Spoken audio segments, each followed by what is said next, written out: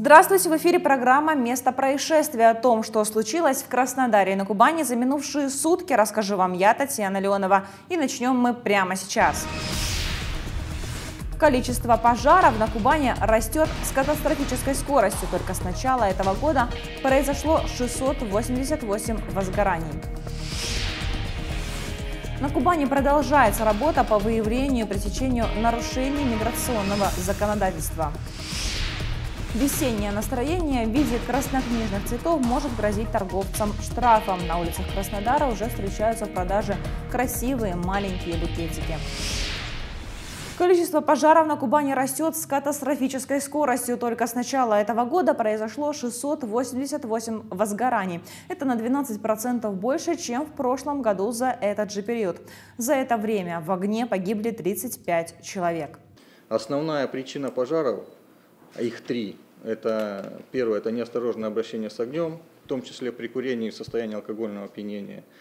Это короткое замыкание электропроводки. И третье, это нарушение правил эксплуатации э, печей, как э, электропечей, так и на твердом топливе.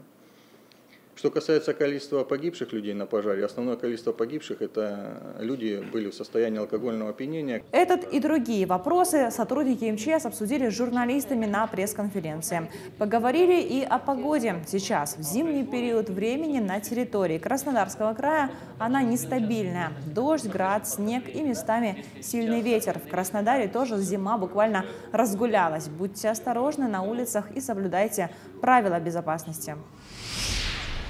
На Кубани продолжается работа по выявлению и пресечению нарушений миграционного законодательства. Выявлено более 76 тысяч административных правонарушений в этой сфере. Из них по линии иммиграционного контроля более 25 тысяч. Нарушители отвечают перед законом, также их наказывают рублем.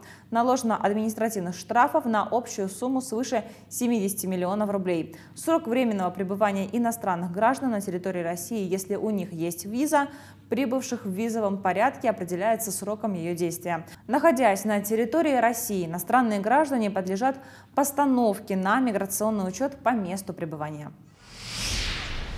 Прямо сейчас выпуск программы продолжаем нашей постоянной рубрикой «Дорожная ситуация». Эти ДТП произошли на краснодарских перекрестках за минувшие сутки. Смотрим и учимся на чужих ошибках.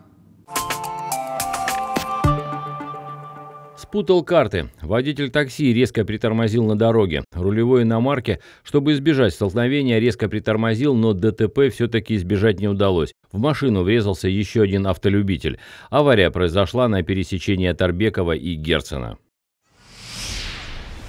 Подтолкнул на перекрестке. Водитель легковушки притормозил, чтобы посмотреть по сторонам. В багажник его авто врезался шофер грузовика. Удар не сильный, но вмятины остались. Столкновение случилось в районе улиц Восточно-Кругляковской и Тихорецкой.